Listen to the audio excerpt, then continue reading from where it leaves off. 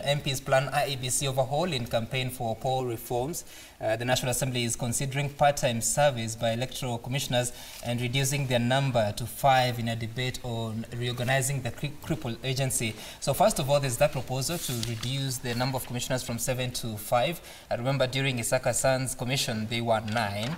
Now we're at seven. Now we're looking towards going to five. Uh, those in office now are three. But there's also the bigger problem that we now face. Of course, uh, the Chief Executive Officer, Ezra Chiloba, has uh, been shown the door, and uh, IBC Chair Wafule Chebukati has written to EACC and the DPP to take action against um, Chiloba. Uh, first, the question, how do we resolve the confidence uh, challenge that we have, even as the commissioners propose and to, to implement that the auditing or rather the vetting of uh, all senior officials at the Senate. Maybe Senator Isaac, you may uh, go first. Yeah, I think um, when you decide to put your life at the destiny of Kenyans, you need to be very serious about what you are undertaking. And that is something that I don't feel many of the people who show up to be commissioners of the IEBC seem to fully fathom. Because the contestations about power play in this country has, has been domiciled within the ambit of the IEBC, because they then become the independent arbiters of our own you know, ambitions and aspirations as a people and regions within mm -hmm. this country. Mm -hmm. Now, we have traveled this journey before. In fact, I think the position of the CEO of the IEBC seems to be jinxed. Mm -hmm. You just need to look at uh, the case of um, Oswago. Oswago. And now this young man who I had met way back in 2012, um, Ezra Chiloba, I think who really tried to do his best. But in the quest to ensure that uh, uh, somebody takes the accountability of the loss of the 9 billion shillings and the, of course the, exp expensive elections that we just had uh, last year, mm -hmm. Chebukati and his commissioners are on, in an overdrive to really put to account senior management officials. But the buck stops with them. Mm -hmm. It is them who really superintended over the elections, even if they came to office only seven months. Um, and I think we need to ask ourselves very serious and fundamental questions. I want to imagine that uh, JLAC uh, of the National Assembly, uh, looking at this matter because we need serious electoral reforms, we need to ask ourselves whether we, by the time we reach the IEBC, mm -hmm. Uh, whether we really uh, have had credible processes that uh, produce systems that only, you know, seek Kenyans to validate whoever they would want to elect in office. Mm -hmm. Because it starts much, much earlier. Right. It starts with the way in which we do very shambolic way of uh, changing laws that suit political convenience at time, not for posterity. Mm -hmm. uh, and also even how we do our party primaries and uh, how they, they, they, spill over with regard to the pol political parties dispute tribunal. Mm -hmm. So they, in short, what I'm trying to say is that there's a lot that we need to do within our electoral system if it is to achieve the desired results. Currently, it becomes unfathomable uh, uh, to imagine that then the confidence of the IBC can only be restored if you vet the, the, the, the senior management. Mm -hmm. Kenyans would want to imagine that a new commission is better, but we have seen even if we replace the commissioners, uh, that will not happen. I know for sure one of the things that makes these commissioners to continue holding office mm -hmm. is because we anticipate a referendum. And that if we were to uh, start recru the recruitment of uh, commissioners, that process would be frustrated. Because if you look at uh, chapter 16 of the Constitution, you require a minimum of seven seamless months if at all you are to attain a, a, a, a plebiscite. Um, but then here, when you start saying that you need uh, who is going to be the next commissioner, people start scheming for the, the, the year 2022. Right. And uh, then you have issues of tribe and region. So we are really a, at a situation where real leadership is required. Mm -hmm. Because if you are not able to resolve this matter of the IEBC, it will spill over uh, to the kind of confidence people may or may lack uh, with, regard to election cycle. Of course, you can argue uh, some that uh, they have successfully conducted by-elections, mm -hmm. and the latest one being uh, the one for, for, for Migori. and I want to congratulate uh, Ochillo George Mbogo Ayacko for winning. but then the issue would be whether really the, the center can hold. Mm -hmm. I want to give the benefit of the, of, of the doubt as I conclude mm -hmm. that I would want to imagine that Chebukati and his commissioners are more experienced that now they have some spine because they have shown to be very spineless. That now they have reflected so and that they will put the country So in your view, they should remain? Well, of course, there's something that comes with experience. Gladys will agree with me that when you are a second-term legislator, you are much better than a first-term legislator. Mm -hmm. Just like any other position, there is no school that you, you are taught a subject called experience. But then the prevailing circumstances are so murky And I wonder how we are going to wiggle ourselves out of the situation. Right. So, what is the solution out of this? Uh, is it to review the law and reduce the number of uh, commissioners that we have? Is it to review how they are appointed, or is it to stick with the three and just look for replacements of the four? Yeah, for me, I think uh, it's untenable for Chebukati and his team to remain in office, given the revelations that we have uh, had. Um, and, and in fact, them pushing this to Chiloba. But we saw the circus that was Chebukati and his team during the election. We saw the circus that they were. They were total circus. And we cannot uh, forget you know, we, we cannot forget what, what, what happened in, the, in, in 2017. And, and a lot of it was caused by Chebukati and his, his team. And the buck stops with Chebukati. He can't sit there and say, oh, the other commissioners who have gone are the bad ones, I am a good one. No. Chebukati, the three commissioners that, they have, that have remained, we must find a way of sending them home and bringing in new commissioners, and that should not go beyond now. The reason is the closer we get to election, the more contentious the issue becomes. And then if we, if we get commissioners on board too close to the election, mm -hmm. they are unable to prepare. Mm -hmm. So we cannot wait. And the, the, the process of getting commissioners to the IBC, and, and, and, and this is what I was, I was saying uh, during the, the break, that it cannot be a, a candidate or a player selecting the referee. It cannot be. Mm -hmm. Whether, you know, what we had, the problem began where the, the, the, the, selection panel for IBC presents three names to the, to the president. And the president at that time happened to be a candidate. Mm -hmm. And the candidate is now the one to select one among the three. And it is not even determined whether it is the best person who is to be picked. They could pick anybody. Chebukati was last, if not second last, in, in, in the selection uh, process last time. So mm -hmm. uh, personally, my view is Chebukati, the three commissioners, uh, must. We must find a way of sending them home together with the others who had already resigned so that we have a set of new commissioners and we must have a process, a selection process, like it's done in other jurisdictions mm -hmm. that has representation from political parties. And what do you do with the secretariat? The secretary, you know, we must decide. What happened between Chiloba and Chebukati is a lesson. Because there was a chief executive officer who was the, you know, who was the accounting officer, and then there is a chairman who also wants to wield power and who holds bears the political responsibility within the commission. Now we must decide whether we have a CEO or we have an executive chairman who is the person, the center, we must have one center of power. In a critical organization such as the IBC, there must be one center of power where the responsibility rests. It cannot be that there is an officer at the back who manages everything, yet at the same time, the person who takes political responsibility for any failures is a different person, but that person does not have power to contain a rogue CEO, as was Chiloba. Senator Cherargei, how do you ensure that the next um, political cycle, I want to call it political because it can be a referendum or an election cycle, mm. how do you ensure that uh, it doesn't face the confidence challenges that we face today by looking at IBC?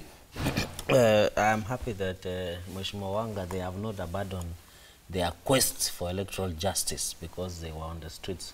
And I'm happy that uh, some of those issues will be resolved now that we are having handshake. Mm -hmm. I agree the confidence is very low in terms of uh, how how the IEBC is operating. Mm -hmm. And as the chair of JLAC, uh, I would not, uh, as a committee, there are things that we are doing at the moment concerning the IEBC including the audit, including also electoral. Uh, we are trying to get an omnibus of electoral Is it a Senate reforms.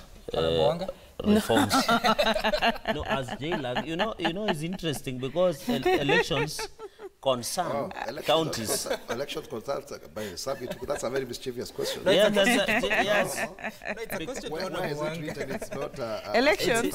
Elections, elections do not do not concern counties. Let's say from do, they do not concern counties as per the schedule how, four. How are counties elected? As per schedule four.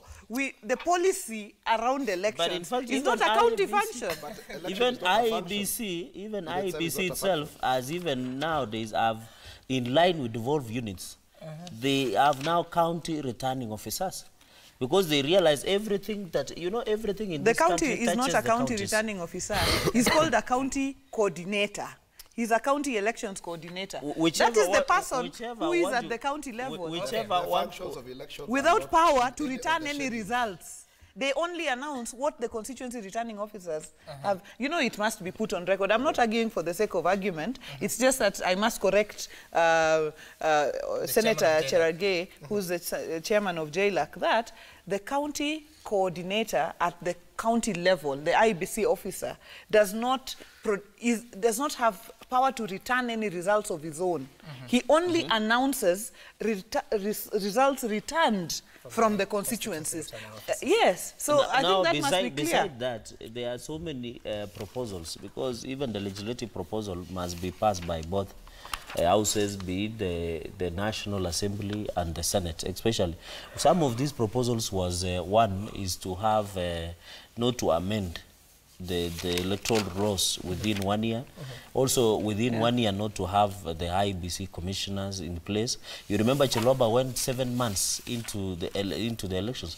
The, pro- eh, the problem we are having in this country, and I, I, and I agree with the thought of uh, Wait, what did Mheshimiwa you mean Chebukati, not Chiloba? Uh, Chebukati, sorry, sorry, the chair Yes. uh, of the IBC. I agree that, uh, you know, in corporate world, you have the, the, the board led by the chair, and then you have the CEO led by executive. The governance structure and the power struggle that is in IBC, and I agree we need to look, because you're having a CEO who is leading the secretary, the chief executive, and you're having the chair who feels that he should be in charge of everything. That is why we need to look at the, how the IBC operates. Um, in my own opinion, one, we need to reconstitute the IBC.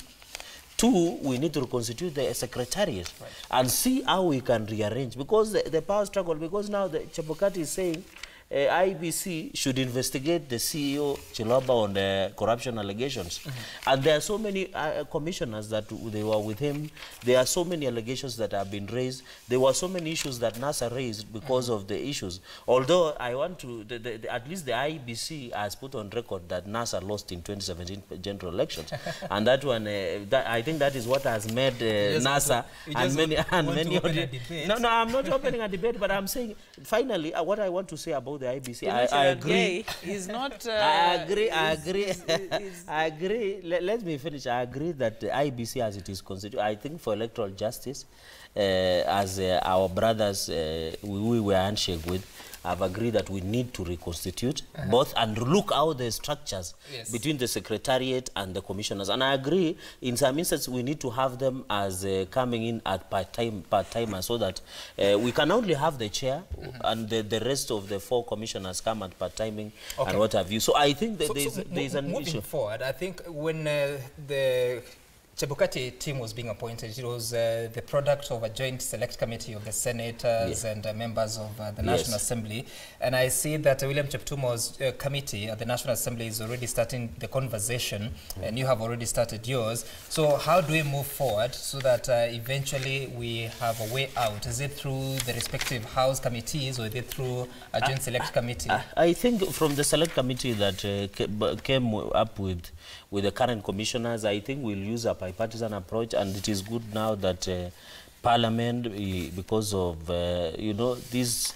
Some sometimes this handshake is a blessing in disguise. So some It's of not in these issues, disguise. It's a blessing. Please explain that. You know, of, of course, I have been one of the opponents of handshake. now, it is very important now that we have the Why are JLAC in the National Assembly and the Senate. It will be easy. But my proposal is to have a bipartisan. He's an opponent. is Of the i- i- handshake. Is, is, is the bipartisan because we, if we go to details, you know, the devil is in the details. It will bring another debate, and I can see But you're the one because of raising time. no, I agree. With, of course, it is a poison chalice. What I'm saying is that it is important now. The House, the House now can have a bipartisan approach. And I agree, you know, I, this, uh, Mheshimiwa Peter Kaluma, the Bay town MP, has given even an interesting proposal that we need a, a mirror-like IPPG, mm-hmm. the, the, the one we had in 1997. I, I agree. Of course, Gladys Wanga has raised a concern that how can you give a player to appoint a referee? Mm-hmm. But those are some of the, we need all stakeholders. We are not saying only political parties mm-hmm. should be involved in the process of IBC formation of mm. commissioners and running of IBC. We need all stakeholders because somebody was asking, even if the proposal by Kaluma, what happens to people who do not belong to the political parties? What happens to other stakeholders? That is the conversation we should be having mm-hmm. in as much as so that we, we cure some of these issues and ensure the IBC has the confidence. Mm-hmm. We are going now to election, uh, maybe another circle of electoral process, be it referendum, mm-hmm. be it the 2022 general elections, be it the by-elections that might come up the way. We need a more IBC which is as the confidence of the public, say that if I lose and you win, it is in a fair contest and we respect the results are being credible. Yeah, I think uh, there are things that uh, Senator Cherargei has said that cannot go unchallenged. One, one is that uh, IBC has uh, stated that NASA lost uh, the the election. Uh, I, I think if we want to go down that route, first of all, this IBC is so not credible that I do not think Kenyans will believe anything that they say. But this country is in a process of healing. that- but this country is in a process of That is healing. as far as the presidential election goes. Is no- concerned, no- yeah. Not as far as the, The bi- woman representative uh, Homa Bay election goes. Yes, you know the They were most credible. the most uh, the most you know some you're laughing, but the reality of the matter is the most contended election is the presidency. They might Yes. not want to interfere with my election as woman rep, but they will interfere with election. But I, what I wanted to tell Senator Cherargei is this country is in a process of healing. If we as leaders continue to throw words, you know, like those, then we greatly hamper But that process, with all due including including. Let me just speak because when you spoke, Uh, okay, when you okay. spoke, I I'll listened listen, to I you the listen, whole I time. will listen. You know, um, and, and, and, and so when we are when we are healing and moving forward, let's not do things that prick wounds that you know have not fully healed yet. Because when we are on, a, on, on this kind of platform, we speak to many Kenyans. They are NASA supporters, they are Jubilee supporters, and right. we as the leadership are entrusted to bring the country forward. And, and, and as far as the handshake is concerned, we know that uh, Senator Cherargei and his entire wing, you know, of, of, of Jubilee are opposed to the uh, handshake because they believe it is a 2022 issue. Yet it is clear that the handshake is not a 2022 issue, is a bigger issue to move Kenya forward. So I think, and, and, and on the issue of the referendum, one thing I must say, and, and I know I, I, I want to say this because, and there I want to thank Senator Cherargei on the gender and inclusivity matter. Right. We, I support the referendum, but as a woman leader, mm-hmm. what I must say is the referendum must have women on the table. Correct. That is one. Even as our political parties elect, whatever it is, we must have women on the table. Yes. Nothing for women without women. Correct. Secondly, We are not supporting that. Secondly, we will not accept a reversal of any gains made mm-hmm. Mm-hmm. so far on affirmative action matters. Mm-hmm. If, it, if this is about if this is about Punguza Mzigo reducing the gains that women and other affirmative action groups have made, then it is a no-no. Okay. Yeah. I think uh, this contestation is because of the 2022 elections. And uh, you can see there is a lot of friction between Cherargei and Gladys there. And that's why you come in.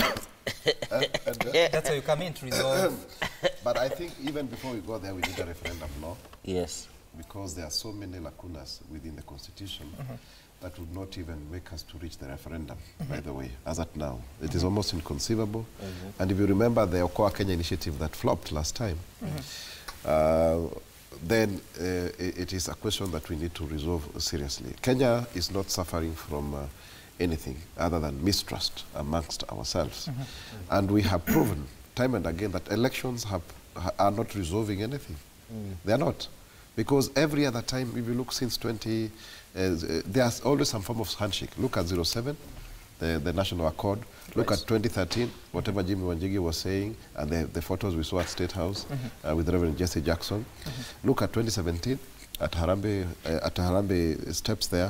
Mm-hmm. So it means that then elections in and by themselves are not a solution. And if you even go further, backwards to party primaries because in party primaries are the most undemocratic forms of elections where some uh, skeleton uh, uh, uh, special purpose vehicles called parties uh, pretend that they can conduct uh, uh, polls that they do are not have they have no capacity where they recruit agents uh, as officials on the day of elections.